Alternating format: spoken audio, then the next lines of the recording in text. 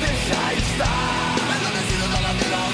Eu traço. Hoje eu sou livre pra viver e alcançar o meu lugar. Eu traço. Aqui é o meu lugar, meu lugar. Aqui é o meu lugar. Pessoal do Papo do Paddock, estamos aqui com o Robin Pérez. Me diz uma coisa. Quando começou para você essa brincadeira de correr de carro de corrida? Sabe que para mim começou um pouco tarde, porque eu cheguei no Brasil com 23 anos, comecei a correr de kart com 24. Então já estava meio crescidinho. E daí do kart foi para qual categoria? Qual que Olha, do karting fui para a Fórmula 1600, depois fui para a Fórmula Super 1600, depois corri na Fórmula Saab nos Estados Unidos, na Fórmula 3, na Fórmula 2 no México. Voltei na Fórmula 3 aqui, na Super Super 2000, Fórmula 2000 se chamava, se não me engano, na época aqui em São Paulo. Fórmula 3 de novo. E agora, depois de 20 e poucos anos parado, estou aqui de novo no, no Endurance. prova que a cachaça continua no sangue, né? Continua, isso aqui é. Não dá para tirar assim. Deixa eu fazer uma pergunta. De todos os carros que você pilotou até hoje, qual aquele que você sente saudade? Aquele, pô, tal carro era divertido, ele era mais arisco, menos arisco. Qual que te ainda te causa emoções quando você ainda lembra dele? Sabe que todo mundo que me conhece no automobilismo diz que eu sou o filhote do e o queridinho do Ferreirinha. Ferreirinha é um ícone no, no, na história do, do, do, do automobilismo brasileiro. Eu acho que ele escreveu as páginas maravilhosas na história nossa. E ele, o Herculano, ele fabricou um carro para a Fórmula 2 sul-americana, que não é, é feito solo. E esse carro foi o Marcos Troncon que corria, o, Mar, o Troncon parou de correr e eu comecei a correr no, no Paulista de, de Super 1600 com esse carro. Era uma coisa espetacular. Carro asa, Interlagos antigo com a 1, a 2, a 3 e a 4. Realmente Onde você parava o casado solteiro, né? Na É. 1 e na 2? ali separava as crianças dos homens. Pra quem não lembra, não existia o S. Então o cara que fazia a, a 1 e a 2 de pé cravado, o pessoal falava que era solteiro. O cara que entrava com o pé aliviado era casado, né? Ele era casado com certeza, ou já era pai.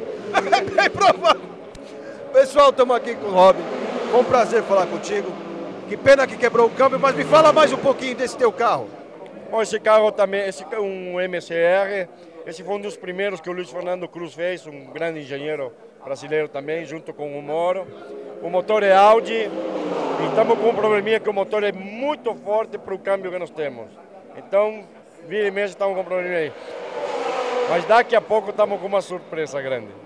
Esse aqui é o Robson, vai vir com a surpresa na próxima prova, Robson. Um abraço. Obrigado, boa sorte. Obrigado a vocês. Fica com Deus. Pessoal do Papo de Paddock, estamos aqui com José Córdova. José, quando começou sua carreira dentro do estado, dentro do automobilismo? Como começou essa cachaça que eu falo, que é tão viciante que você tiver 200 anos, vai correr 200 anos? Como começou para você isso daí? Bom, como eu acho que todo mundo começou no kart, né? A gente é apaixonado por isso a vida toda, né? Começou no kart no começo dos anos 70, aí andamos de kart até o meado, metade de 80. Em 84 fui para a Europa e aí na Europa passei 18 anos fora do Brasil correndo, né? Mas eu mexo com isso desde aquela época, tenho uma equipe em Curitiba, a gente tem seis Mercedes andando no Campeonato das Mercedes, tem, ando aqui com o Robin Pérez aqui na, no Endurance. É, passei muito tempo na Inglaterra, corri pelas fábricas grandes, fui para o Japão, Estados Unidos, México, Canadá, o, sul-americano nosso aqui de Fórmula 3. Então é uma longa história aí, uma, de paixão pelo automobilismo.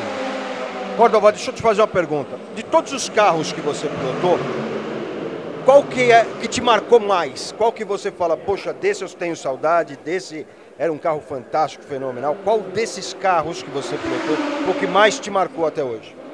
Na verdade, eu sempre gostei de Fórmula, né? Que eu me criei nos Fórmula, do Fórmula Ford em inglês. Na verdade, do kart eu já fui para correr de carro lá fora, né? É, o que me marcou muito foi Fórmula 3 Fórmula 2 ali, que eram uns carros bons de, de guiar, né? Vamos dizer assim. Os Raut de Fórmula 2, os Alara de Fórmula 3, esses carros foram uns carros bons de guiar, né? Cheguei a fazer teste de Indy, cheguei a andar de Indy Light, mas era um carro pesado, grande, né? Eu sempre gostei de Fórmula 2 e Fórmula 3 na época, né? Então, a parte de turismo, aí quando eu voltei para o Brasil, comecei a andar de turismo. E daí fiz a Copa Clio durante alguns anos eu, eu, eu corri três. Eu fui tricampeão de, da Copa Clio aqui no Brasil, comecei a andar de turismo. E agora estamos mexendo nos carros aqui. Tá certo. Pessoal do Padox aqui com o Córdova.